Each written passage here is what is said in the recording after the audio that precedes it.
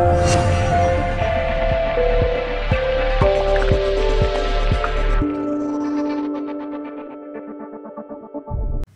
guys, this is Kirsten with Off Leash K9 Training. Today I picked up a six month old German Shepherd. His name is Ripper.